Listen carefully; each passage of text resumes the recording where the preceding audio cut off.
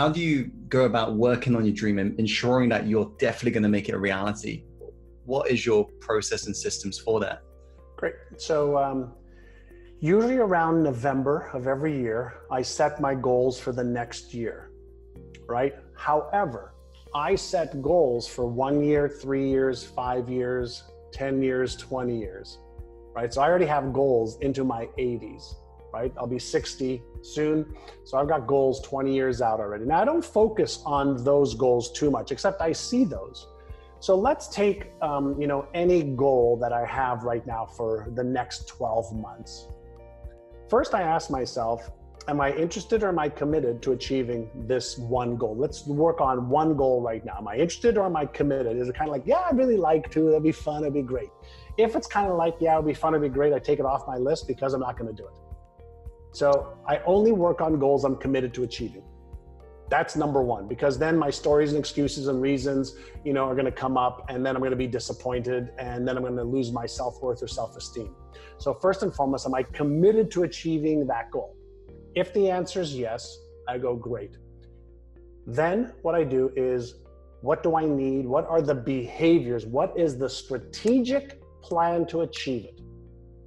Let's say I'm committed to getting in uh, really good shape and losing 10 pounds and getting my body fat to 12%. That's the goal. That's the vision. I'm going to have more energy, healthy, etc. I say, great. Um, what are the strategies I'm going to use to get there? So I say, okay, I'm going to go to the gym three times a week. I'm going to hire a personal trainer. I'm going to bike twice and hike once a week. Uh, I'm going to do uh, 60 minutes a day in the gym. I'm going to do 30 minutes a day of, or 30 minutes hike, uh, etc. So I develop what exactly does that mean? Okay, what are the tools and resources that I need? Um, whose help do I need? Uh, and then I put that in my calendar and and then I do it. So then I have my daily rituals. So I have goals for spiritual connectedness, for mental health, emotional health, physical health.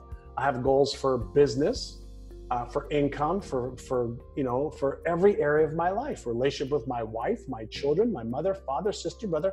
I have goals for every one of those, and then I take a look at my calendar and I go, okay, what do I need to do daily?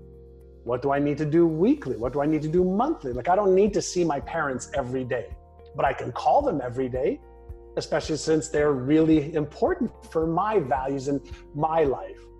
So every day after, you know, uh, on my way to the gym, okay, I call my mother and call my father. Two minute call, three minute call, I get that done every day. Now it becomes a habit. Now I can't not do it. So I take the time to plan now, I'm able to stick to my plan probably 80% of the time. Not 100, but 80% of the time. But guess what? I achieve a lot of goals because I have some structure. And then if something's not working, you know, the night before, so for example, tonight, I'll invest 15 minutes to make sure that my day for tomorrow looks productive, not, you know, active, productive.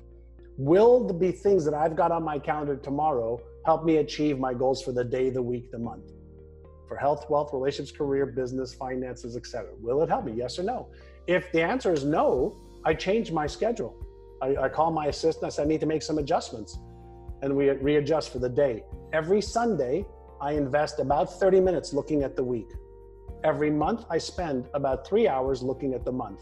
I do a review of what happened, and then I do a projection for what I want to happen. So I have these consistent checks and balances in place to check and balance, check and balance, check and balance, check and balance all the time.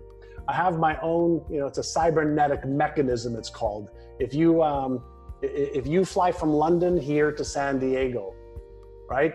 The pilot will put in the coordinates, you know, from London to San Diego, and there's a route that's created by the automatic pilot on the plane what most people don't recognize or realize is because of headwinds, tailwinds, because of a lot of different factors, um, uh, um, uh, the plane is off course most of the time. But because the destination's locked in, and because the coordinates are consistently being adjusted, the plane gets to San Diego. And so, our job what's the destination? What's the initial flight plan? and then we adjust, adjust, adjust, adjust, adjust, adjust. So if you give yourself the ability to adjust every day, in some cases every hour for certain things, you can adjust to make sure your mindset, your attitude, your behaviors are accurate every hour. Right? You can track, monitor, measure, tweak, and adjust. Then guess what? Uh, you'll reach your goals in every area of your life.